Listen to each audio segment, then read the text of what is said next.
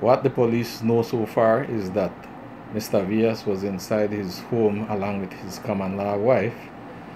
Um, shortly before that time, when someone shouted for him, and as a result, he exited his home, and that is when several shots were heard. And thereafter, when his common law wife came outside to check on him, she found him motionless on the ground.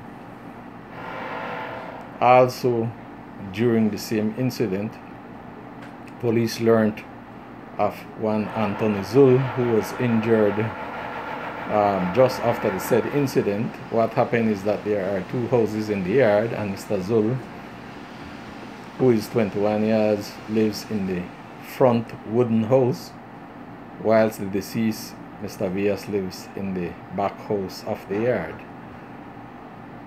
As a result, or what police know is that two Hispanic males wearing masks and peak caps entered the location and then shouted for Mr. Villas.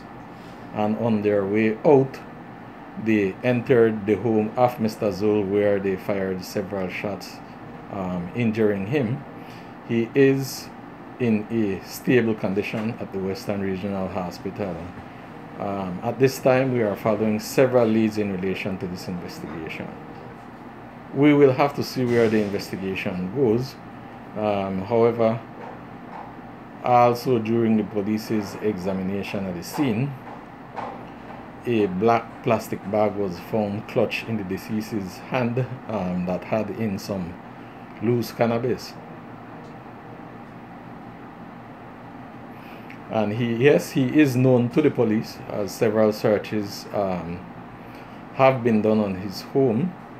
I believe sometime around march or april of this year he was charged for drug possession by the police